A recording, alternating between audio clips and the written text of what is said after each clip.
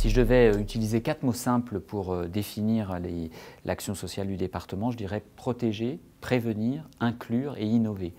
Protéger parce que, euh, compte tenu euh, à la fois des caractéristiques du département, mais de nos compétences, eh bien, chaque jour, euh, à travers nos services sociaux, nos crèches départementales, nos centres de PMI, eh bien, c'est notre mission principale de protéger. Prévenir également, parce qu'on sait bien que face à un certain nombre de situations,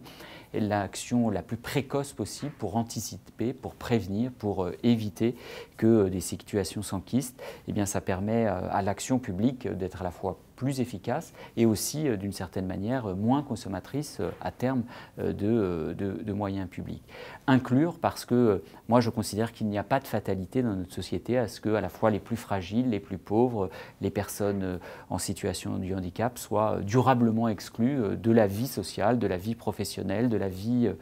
culturelle. Donc c'est un, un axe important. Et enfin, innover parce que face euh, à la fois à la massification, la complexification d'un certain nombre de situations, eh l'action publique, et notamment dans le domaine social, doit chercher en permanence à renouveler son action.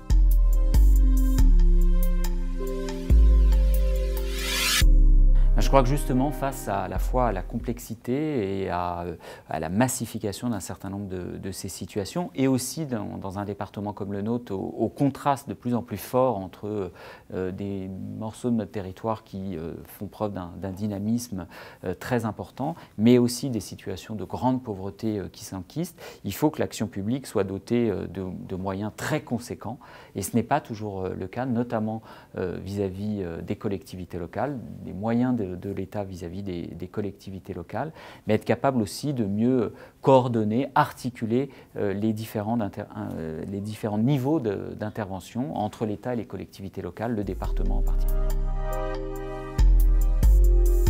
Oui, je le crois parce que euh, la situation aujourd'hui, notamment la situation des jeunes, qui fait que le taux de pauvreté chez les jeunes est deux fois plus important, mais que dans le reste de la population et que par ailleurs, euh, dans la population, on évalue euh, sur un certain nombre de prestations, c'est le cas du RSA, à 30% des personnes qui potentiellement pourraient avoir accès à ce droit n'y ont pas recours compte tenu de la complexité là aussi euh, d'accès à ces prestations, à ces dispositifs, eh bien je crois que l'automaticité pourrait permettre de réduire significativement la pauvreté, la grande pauvreté. C'était d'ailleurs un objectif que s'étaient fixé les porteurs du RSA euh, au moment de sa création, de réduire significativement euh, la pauvreté dans notre pays. Et moi, je ne, bien évidemment, je, ne méconnais pas euh, les, les, avancées qu'a permis la création du RSA, mais en tout état de cause, elle n'a malheureusement pas permis de réduire de manière significative la pauvreté, la grande pauvreté même dans notre pays. Et donc je crois que oui,